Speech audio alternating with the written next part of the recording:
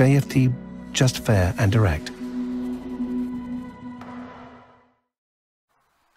Good morning everyone and welcome to JFD's daily market review for November the 12th. I am Charalambos Pissouros, head of research here at JFD and I will talk about yesterday's main market movers, what's my opinion moving ahead, what are today's important events and how they could affect the markets. But before we start, let's read our disclaimer. The content we produce does not constitute investment advice or investment recommendation, should not be considered as such, and does not in any way constitute an invitation to acquire any financial instrument or product. I will leave you a few seconds to read the rest and then we will jump into our analysis.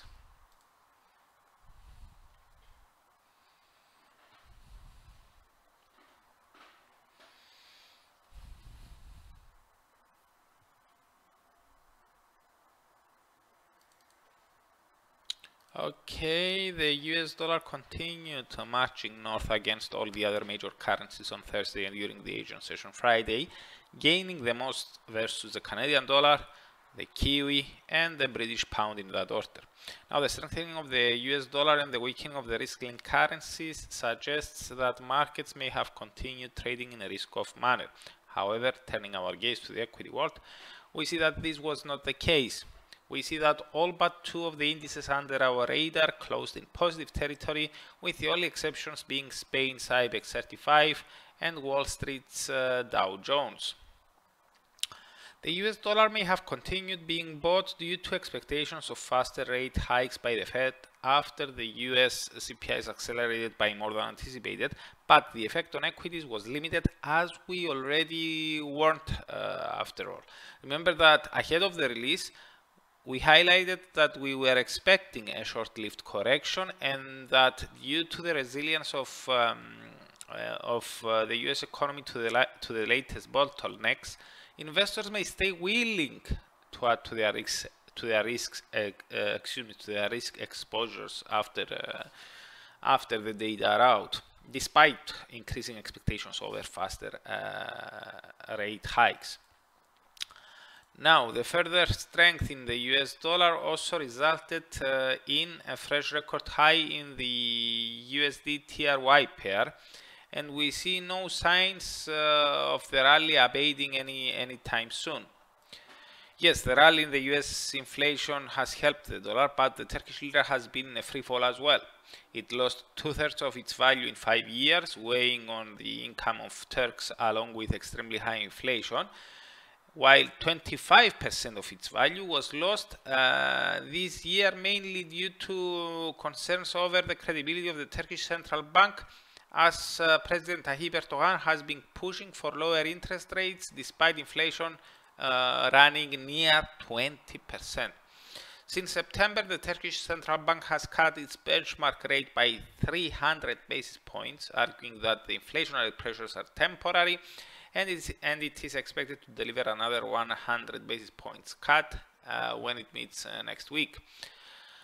Now, back to the US and the greenback. Another thing that may catch investors' attention in the next few weeks may be the race on who will be the next Fed chair when Jerome Powell's term ends in early February. At the moment, it seems that President Joe Biden is still weighing whether to keep Powell or pass the torch to Fed Governor uh, Lael Brainard. Powell appears to be the favorite, at least according to an online political wagering, gathering 68% against Brainard's 31%. Powell has the backing from uh, moderate uh, Democrats as well as Republicans and a track record of averting a financial crisis and helping the economy to recover from the pandemic uh, recession.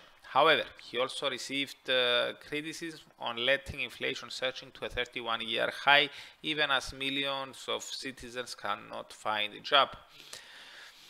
Now, in case Brainard, uh, in any case, Brainard uh, is considered um, is considered to be more dovish than Powell on monetary policy, which combined with the element of surprise could affect the dollar negatively if she's chosen. Now, in case Powell stays in charge, the dollar may rise slightly but not massively. For now, we expect it to continue trending north on expectations that uh, the Fed may eventually need to push the hike button earlier than previously thought. Now, as for today's events, the calendar is uh, very light today as well, with the only releases worth mentioning being the US JOLTS uh, job openings uh, for September and the preliminary University of Michigan Consumer Sentiment Index for November. The job openings are expected to have declined somewhat, while the Michigan Index is forecast to have inched up to 72.4 from 71.7. So that's it uh, from me. Thank you very much for watching and listening. For those who are interested in learning about the main events of the week much earlier, you can subscribe to the weekly Market Outlook webinar, which I'm holding every Monday at 8 o'clock AM GMT. You can find the link in the description below. So goodbye, have a great day, a greater weekend, and I'm looking forward to seeing you here again next week.